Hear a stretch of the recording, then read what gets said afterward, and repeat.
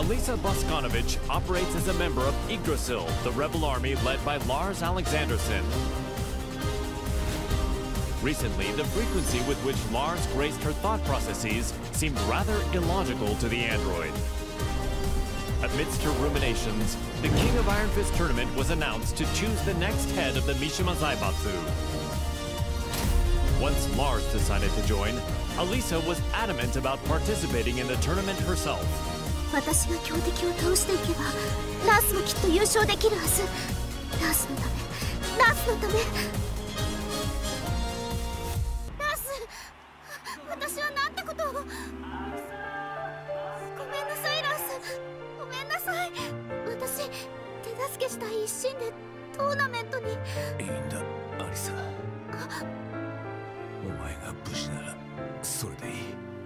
ラース優勝したのがアリサでよかった。